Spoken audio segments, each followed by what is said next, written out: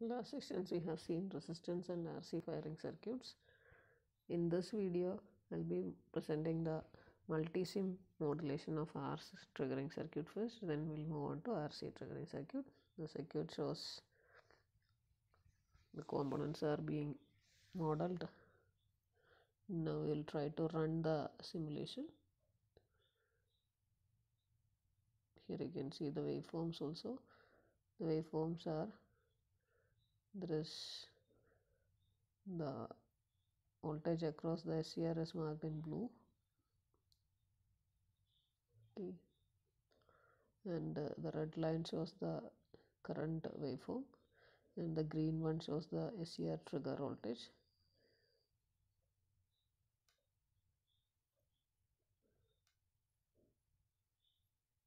Now it is being run with a low value of resistance so SCR triggers very quickly.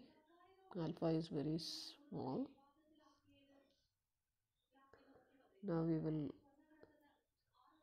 try to increase the alpha, uh, resistance value.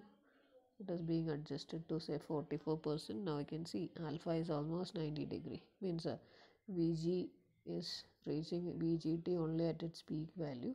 So it is almost 90 degree the alpha. And the current waveform you can see from 90 to 180 degree. The SCR is conducting so output voltage output voltage as well as output current waveform are there.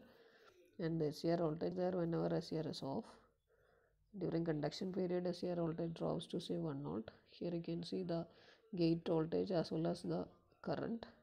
Okay. This is red one is the current. And the longer amplitude one is the SCR voltage.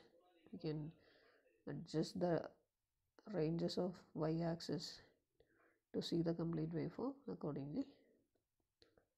The small one it is the SCR voltage okay. So what we inferred is by adjusting the value of R2 the res resistance from low to high you can see the firing angle is varied from 0 to pi by 2 okay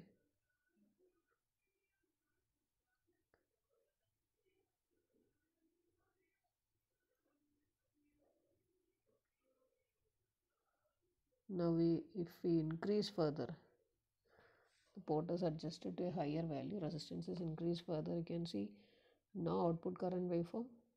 Only the voltage across the SCR it is same as the supply voltage. Here you can see the gate voltage. Gate voltage is very low.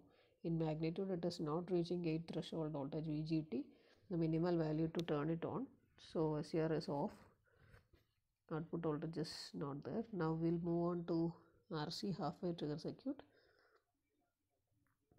this is the circuit diagram which we have seen in the last videos. And these for a low and high values of resistance. How the capacitor voltage is varied. As R is increased. Second case R for low value of R you can see capacitor voltage reaching VGT very quickly. So output voltage accordingly.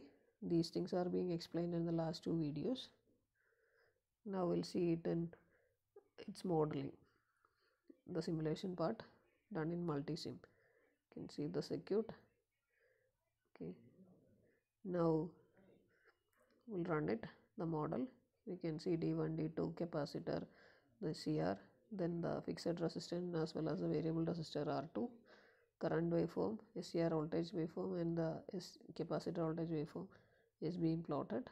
So now it is done side by side.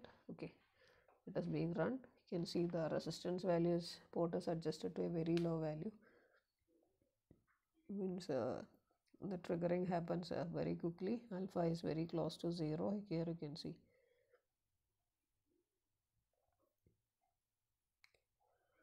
The capacitor voltage reaching the threshold value vgt very fast so SCR voltage is there till it turns it on. After turning on it becomes almost 1 volt drop across the SCR okay. In the current waveform you can see from the graph it is the red one it is the current waveform.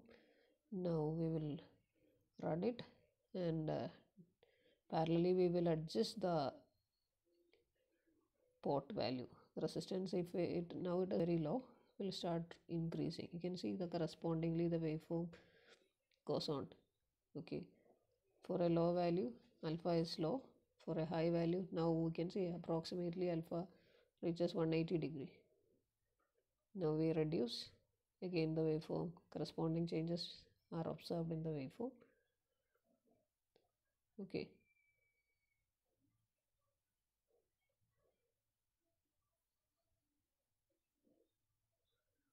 so that's it.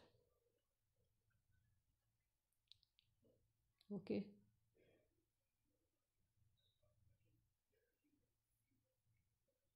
Thank you